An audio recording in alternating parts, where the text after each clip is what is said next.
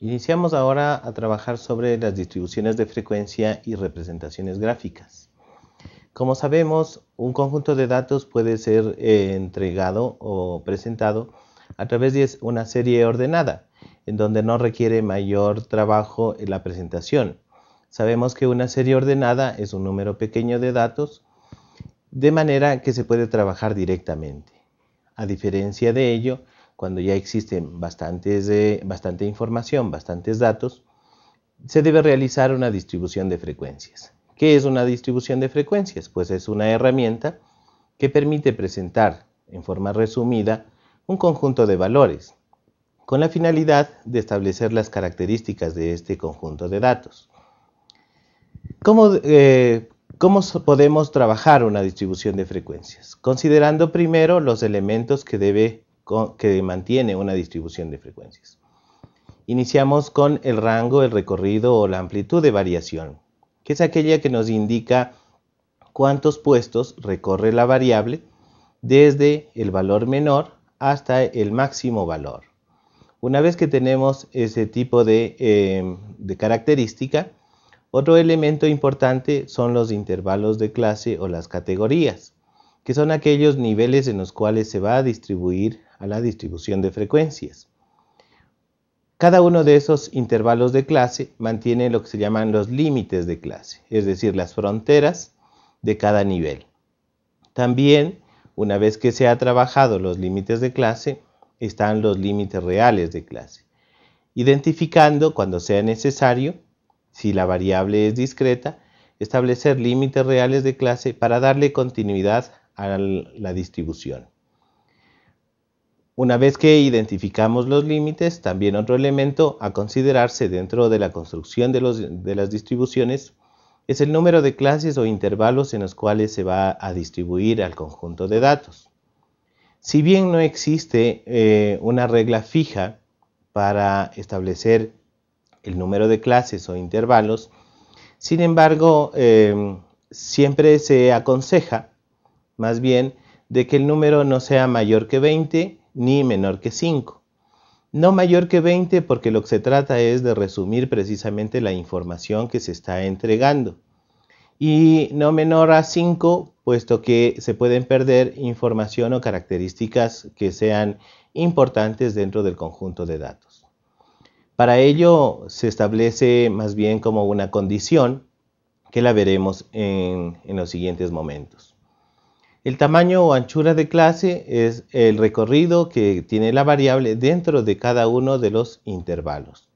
La frecuencia, la frecuencia absoluta simple en el primer caso, es el número de valores que se eh, están observando dentro de cada intervalo. Y las marcas de clase, que son los puntos medios que existen entre cada uno de los intervalos. Veamos un ejercicio para ir comprendiendo cómo se debe construir una distribución de frecuencias.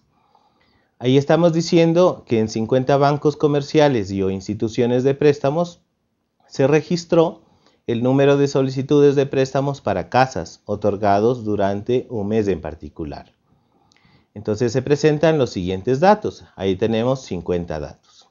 ¿Qué es lo que se solicita? Presentar la información a través de una tabla de frecuencias. Bien, veamos entonces paso a paso cómo se debería realizar. En primer lugar, vamos a identificar los valores máximo y mínimo. Habíamos observado en la tabla que ya los valores máximo eran 32 y el valor mínimo era 0. Una vez que tenemos esta identificación, vamos a establecer el rango recorrido de la variable. Como dijimos, es el número de puestos que recorre la variable desde el menor valor hasta el máximo. En este caso vamos a decir que recorre 33 puestos. Si hacemos la diferencia entre 32 y el mínimo que es 0, siempre debemos identificar 1 más sumarle 1 porque lo que estamos buscando es el número de puestos que recorre, es decir, incluido el 0. El número de clases o intervalos. En este caso no se nos ha solicitado un número específico, entonces procedemos a establecerlo a través de la condición que dice que 2 elevado a la k debería ser mayor o igual a n, que es el número de datos. En este caso son 50. El resultado que nos eh, arroja este valor sería 6. Entonces el coeficiente k sería 6 porque 2 a la sexta siempre va a ser mayor o igual a, mayor en este caso a 50. Entonces vamos a distribuir en 6 clases. Ahora, una vez que ya tenemos las clases en las cuales se distribuye, vamos a identificar cuál es el tamaño de clase. Para ello, vamos a considerar el rango o el recorrido de la variable para el número de clases. En este caso, tendríamos 33 para 6, lo que nos daría un tamaño de clase 5.5. Como estamos hablando de número de datos, no podemos tener 5.5 datos. Entonces vamos a aproximar al inmediato superior que sería 6. Es decir, en cada clase vamos a tener 6 datos que recorre la variable, desde el límite inferior hasta el límite superior. Debido a esta aproximación, lo que debemos hacer es establecer el nuevo rango. Entonces el nuevo rango sería 6, que es el tamaño de clase aproximado por el número de clases que habíamos encontrado que serían también 6. En este caso, el nuevo rango recorrido de la variable sería 36. La diferencia entre los 33 originales y el 36 nuevo, lo que se hace es simplemente distribuir entre los valores máximos y mínimos. Vamos a ver aquí cómo quedaría entonces la distribución. El número de solicitudes, como vemos acá, estaría distribuido en seis intervalos. Empezamos desde cero, no podemos tener un número menor, entonces esos tres datos adicionales van a sumarse al último intervalo. Los intervalos quedarían de 0 a 6, de 6 a 12, de 12 a 18, de 18 a 24, 24 a 30 y 30 y 36. Como vemos, en cada uno de los intervalos tenemos también el tamaño de 6.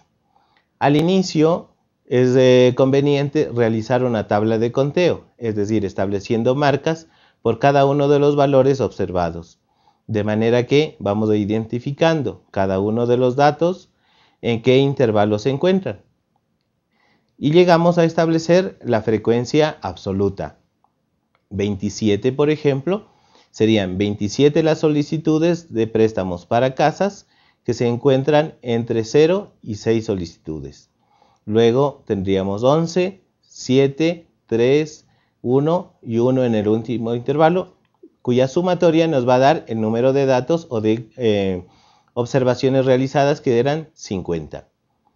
Otro elemento también importante a considerar eh, son las frecuencias relativas, frecuencias relativas simples.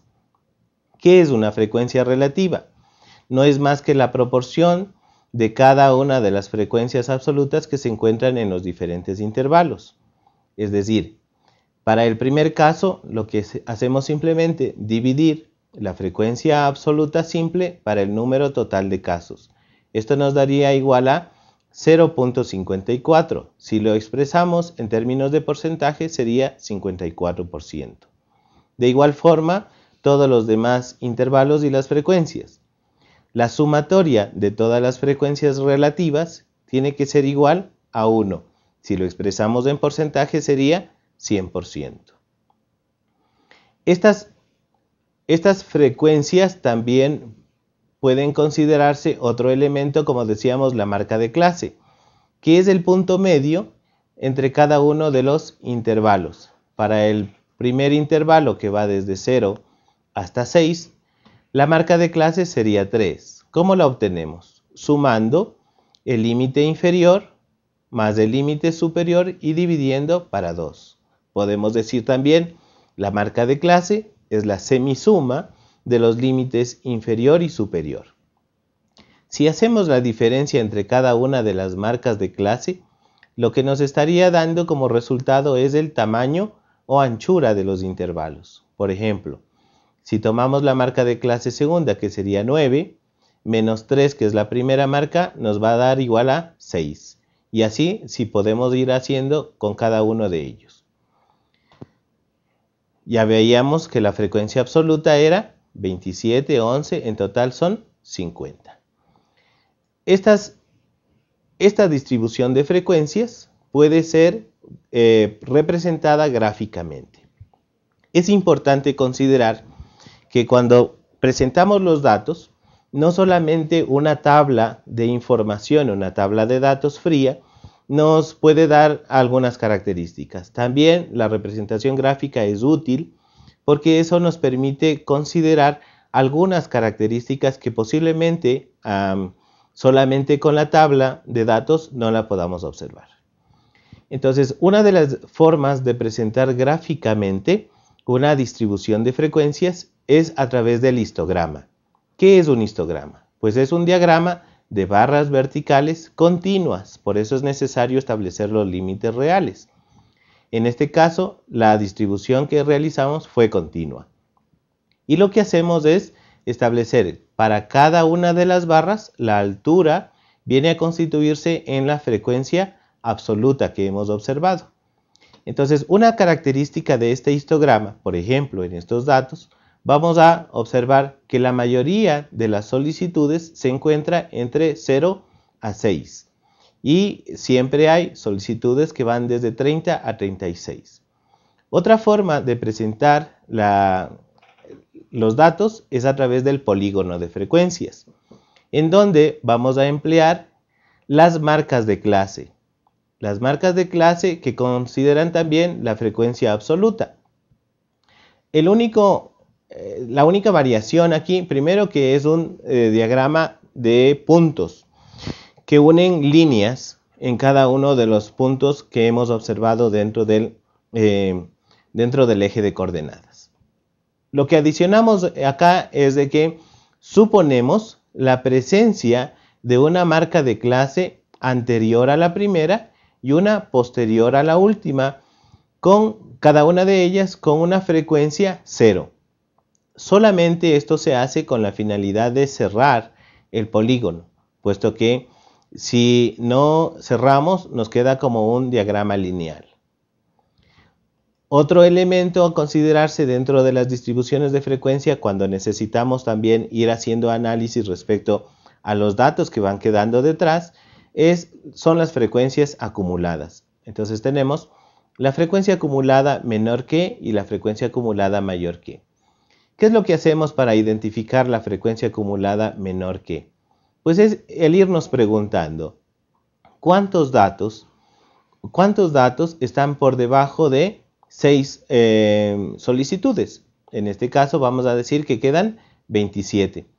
Luego, ¿cuántas, ¿cuántas solicitudes quedan por debajo de 12? Entonces vamos sumando 27 más 11 que fue la frecuencia absoluta y nos daría 38. Lo que vamos haciendo aquí es sumando las siguientes frecuencias, ah, de manera que hasta el último intervalo nos va a quedar el total de datos que serían 50. Si hacemos lo contrario, que sería la frecuencia acumulada mayor que, entonces empezamos preguntándonos, ¿cuántos datos o cuántos, eh, cuántas solicitudes mayores que 0 hay? Vamos a decir que son 50. Y luego seguimos preguntándonos, solo que en este caso vamos restando la frecuencia absoluta observada de cada intervalo. Por ejemplo, vamos a decir para el siguiente, ¿cuántas solicitudes menores que 6 hay?